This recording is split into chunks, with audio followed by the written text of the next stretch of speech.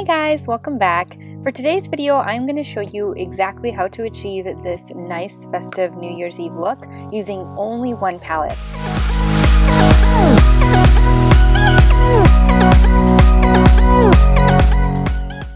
So to begin the look, well, this is aside from the palette, the only other thing that I'm using. Um, it is a base, so you can choose whatever base that you want. I love to go with my MAC Paint Pot bases. This is in the color uh, ochre, soft ochre. I was going to say painterly, but this one is soft ochre. Just to give me a nice even canvas to work with. Next, with using the palette and just a large, you know, shading brush. This is E60 from uh, Sigma. I'm just going in with the color Millennial and applying that onto my entire lid. Then going in with my Sigma E40 brush, which is just a nice big blending brush and the color Millennial once again. I'm applying that on to my lid and using that as a transition shade. So just building that color up so that it's a nice transition shade for me. Next, using the exact same brush and the, the color Girls Night from the palette, I'm concentrating most of that color onto the outer corner or like the outer portion of my lid underneath the crease and also on the crease of course and dragging whatever's left of the product into the inner half of my crease and kind of like toward the corner of my eye as you can see and just windshield wiping and also like circular motions. That's going to give you the best blending result.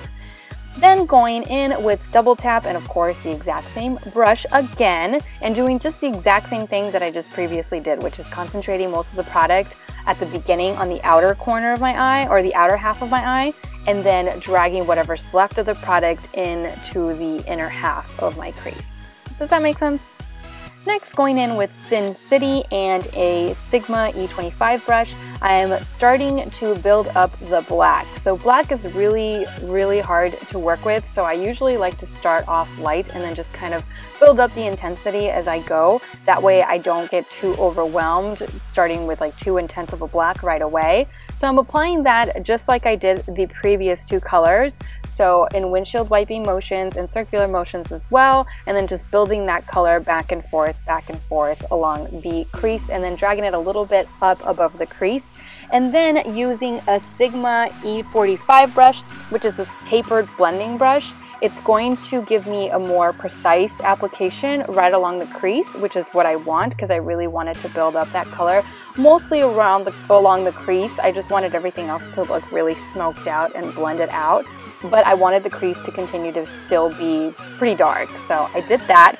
Then applying some glitter glue onto my lid where I'm going to want to place the glitter. This is just, I'm applying it with a concealer brush because I feel that it gives the most even and thin application.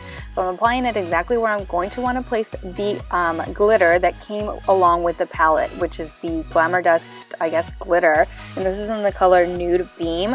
Absolutely love it. I just didn't know what I would ever use it for. And then this came up and I was like, perfect. It's gorgeous, glamorous, and I think it's perfect for the occasion.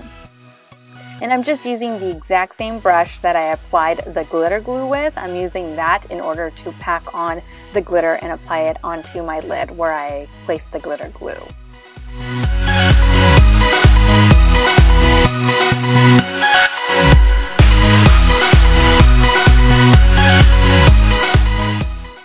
Wasn't going to add a liner, but then I decided at the very last minute to do so just because I felt like that really made it nice and glam and just added that extra something that this look might need.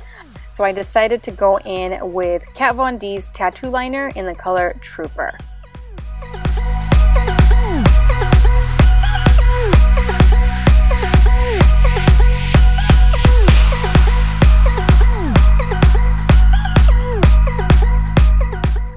Going in with a more precise brush for my lower lash line, this is from Real Techniques. I'm going to be building up the colors on there. So going in first with Girls Night and applying that onto the bottom lash line. Then on top of that, I'm gonna apply Double Tap and on top of that, I'm gonna apply Sin City. And then I'm gonna go in with a pencil brush and this is just from an Anastasia palette. Um, and just blend it out so that it doesn't leave me with any harsh lines underneath the eye. Then going in with NYX Jumbo Eye Pencil in the color Black Bean and applying that onto my waterline, followed by some false lashes. These are from the House of Lashes in Iconic, which I thought were just pretty, pretty perfect for this look. And then of course finishing off the look with some mascara onto my bottom lashes and my top lashes in order to blend my natural lashes to my falsies. So that is it guys. Thank you so much for watching. I really hope that you enjoyed this video and that you give this look a shot this New Year's Eve. As always, take care and I will see you guys next Tuesday. Bye.